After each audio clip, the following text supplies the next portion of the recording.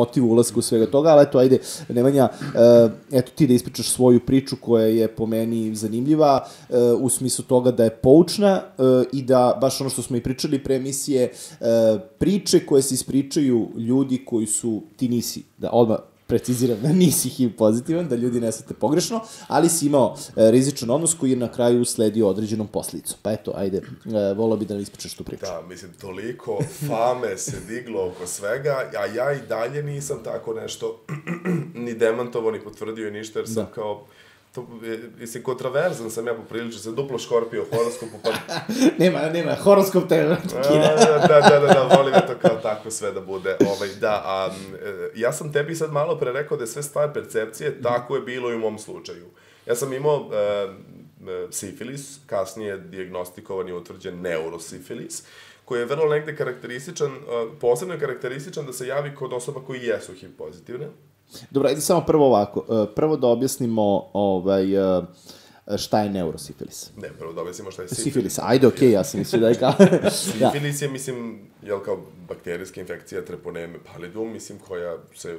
Da. Polna, mislim, polna bolest, jel kao, koja može se zakači i oralnim seksualnim odnosom, što ne mora bude ni vaginalni, ni analni, ni, mislim, ništa može samo bude oralni i to je to. Mislim, da. ne, ne, nema su neke velike filozofije no. kako može se dobije. Mislim, potent je ove godine samo preko 50 ljudi ima otkrivenih sa sifilisom. Mislim, što je ogroman broj. Da mislim, mhm. koliko ih je zapravo da postoji, jer se da, on da, prenosi da. mnogo lakše nego HIV.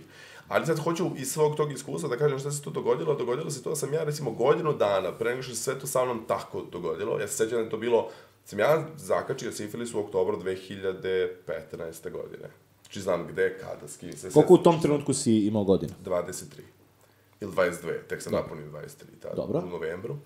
Ali sam godinu dana pre toga, pre što sam to znači promenio životni stil, smršao tipa 30 kg, izgledao kao kost i koža, trčao svaki dan, kao hranio se zdravo, mislim ja sam mislio da to radim. Zapravo sam sve vreme uništavao svoj imunni sistem, jer je, ja sam bio sve gore i gore, ali sam vizualno sebi izgledao sve bolje i bolje. bolje.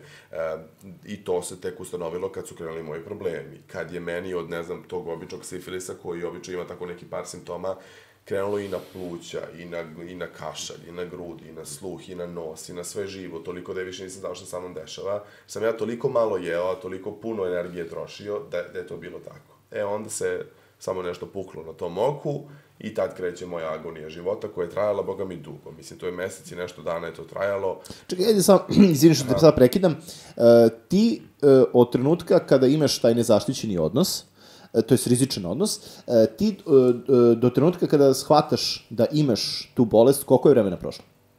Pa ako sam to shvatio negde u maju i junu 2016. a ovo se dogodilo u oktobru 2015. Eto, mm -hmm. toliko, znači nekih 8 mhm. meseci. 8 meseci, znači sve do tog trenutka ti u suštini ne znaš šta ti se dešava. Pa, mislim, e, e, zapravo, možda bih i znao da su me lekari u januaru te iste godine dovoljno dobro pogledali, ali Aha. su zanemarili neke stvari i pripisali su to nekim košuljama koje sam ja probavao. Jer sam ja stvarno imao tipičan primer sifilisa ono u školi.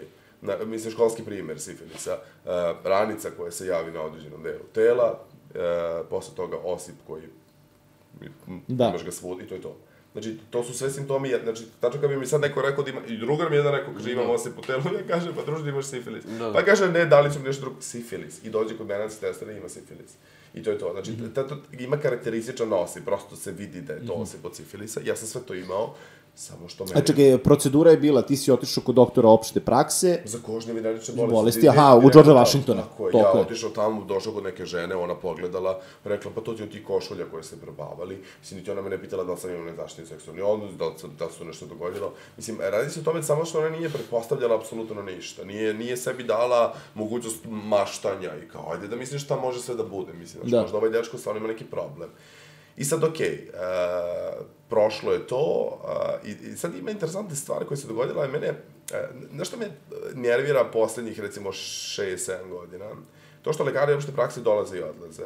I ti više nemaš svog lekara opšte prakse, nekako, ja sam nekad znao ko je bio moj lekar, da. kad sam bio dete, on uvek od yes. istog nekako odeš. I, I najviše voliš, on te zna, znaš ti njega, bude ti lepo ja dolazim kod tog čoveka i kažem, ja mislim da je ovo lančana reakcija, ovo što se meni dešava, vidim da je nešto povezano sa nečim i to sa okom mislim da nema, da, da meni, jer se meni već tada pojavilo da nema veze sa košuljama, jel? Da, da, da, da nema veze sa tim stvarima, znaš, ono kao kapiram da se nešto u mom organizmu dešava, da postoji nešto što prouzrokuje sve te simptome, te da mi je grlo loše, da, da se generalno loše osjećam fizički. Ja kažem, ti si sad pomenuo i da si počeo slabije da čuješ Ne, tada je sve to tako nekako čudno bilo. Sve je nekako bilo u ovom ovde delu. Nekako, ova strana desna. Mislim, mm -hmm, što uvo, što, to nisam ni pričao nigde. Da. Mislim, to za uvo, stvarno se čuje slabije na desno uvo. Ovaj, zato se možda i derem nekako. Znam kako ti je, da, da, a ono ću ti kažem. Da, da, da, čujem ja tebe, joj. Kao... Pa sad ove slušalice su hitka. Da, ma ne, ne, ne, sad, dok inače u kancelariji tamo, znaš. a kad se ja deru na ćale, to... kad ja i Čale praštimo tamo, to je to, da. Okay.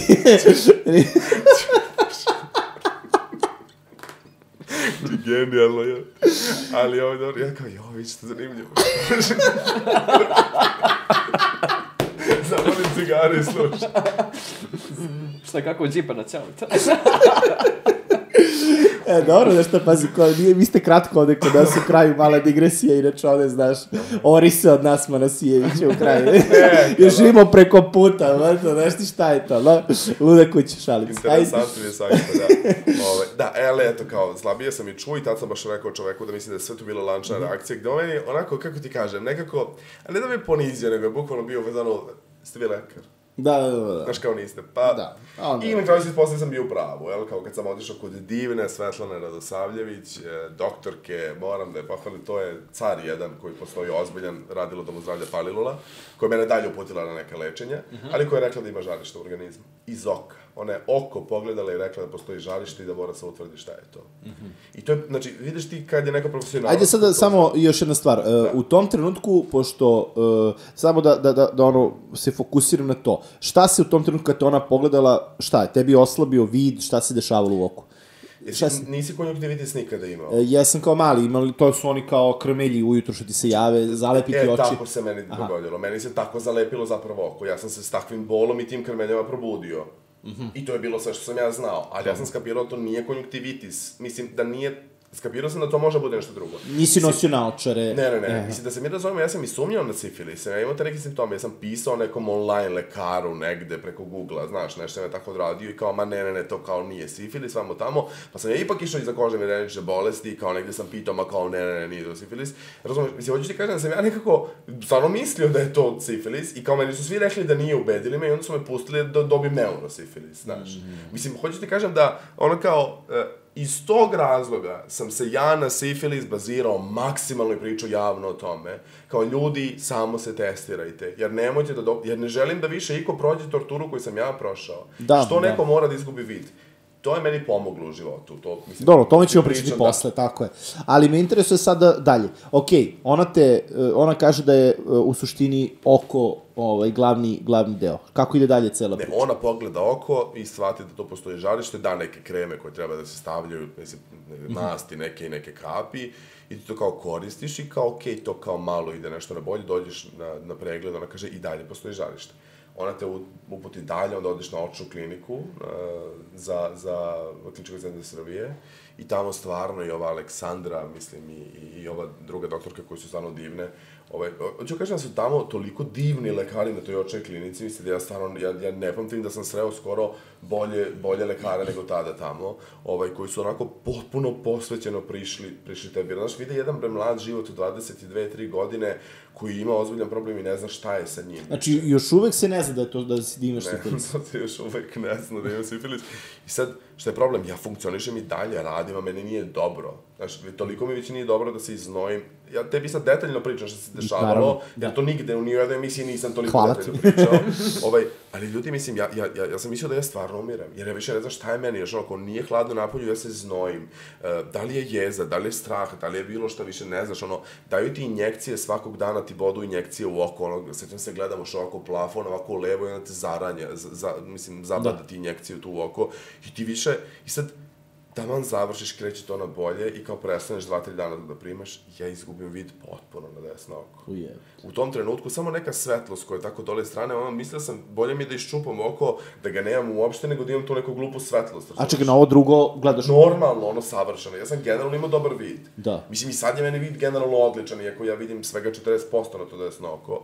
I tu imam samo sreću što se meni vratilo mnogi ljudi koji su kasnije diagnostikovani sa sifili, neurosifilisom, mislim, retina im se odvalila cela, to ne vidi više uopšte, to će samo oko u nekom se osuši, mislim, nema tu života nikakvog. Tako da je to kod mene prošlo super, mislim, kako je, kako je to moglo. Ali, tada već kreće posle svih silnih injekcija koje sam primao, tu bog zna što sam primao, kreće nešto čudno po dlanovima i tabanima. I to je bio znak da se odradi taj test i tad se utvrdilo da je to zapravo bio sifilis. Kasnije su mi radili likvor iz očne vodice i iz kišovne moždine, da nije do duše nađena treponema, jer sam već krenuo sa terapijom, isprimao gomile eksencilina, peniciline, gomile stvari, bio sam pun svega toga i onda kreće bolničko lečenje. Mm -hmm. Da, koje je trajalo 14 dana, svaki dan po 4, eh, na svaka 4 sata, eh, neke ogromne... Gde si ležao? Neinfektivni sam ja. ležao, da.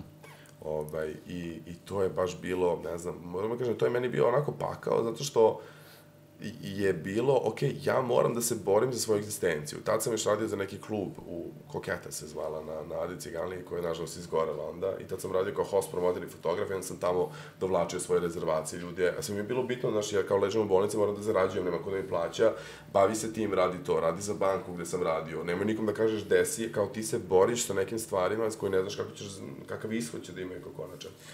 Hoće kažem sam ja tada kad smo opet se vratim sad na stvar percepcije, znaš, ja sam imao potpuni izbor da padnem i da klonem i da duhovno padnem. Baš sam sad to teo da kažem. Znači, ali znaš, trenutak... Ali nije bilo izgovora, nego se meni, meni se, evo sad ove godine desilo, ja sam krenuo da radim nešto sa mojim prijateljicama uh, za novogodišnje neko fotkanje i sad drugarica imala neki problem koji se dogodio i sad sam ja, znaš, ja te pitam da si okej, okay? ti mi kažeš pa okej okay, sam, evo preležalo mi je kao sve to, sad sam kao psihički sam okej. Okay ja to, kad ti mene rekao da si okej, okay, si okej, okay, ja uopšte neću zalazim u to šta, šta, šta bi bilo kad bi bilo i kao da li si ti stvarno okej okay, ili ti mene lažeš. Mislim, ja nemam vremena da se bavim tim. Ja pretpostavim da je ona okej okay, i onda u nekom trenutku je kad će ko će da dođe da mi pomogne dok radimo ovo fotkanje sada i kao pa ja ne mogu i onda ja u nekom trenutku nešto kao kažem, onda se ona naljuti na mene jer sam ja kao to, kao ti nisi empatičan, rekao izvini, ja kad sam saznao da imam sifilis, kad me oko bolelo, toliko da je to više bilo neizdrživo, kad nisam još uvijek krenuo sa tim lečenjem, sam imao sastanak sa klijentima koji su meni nekoliko dana pre toga najavili da, mo, da im treba sastanak, da im je treba za banku, neko sam radio, pa im je trebalo da se završi kredit. Ja s njima sad im pričam o kreditu, trenutak moje dijagnoze, saznavanje moje dijagnoze. Tačno tako. Jer kao nisu bre oni ni krivi ni odgovorni za, za moj, mislim, problem koji ja imam. Jest, kao. Jest. Tako da, sad, to neće svako da razmišlja tako, ali stvar percepcije, to je ono o čemu ti pričam. Ja sam odabrao da budem borac i da uspem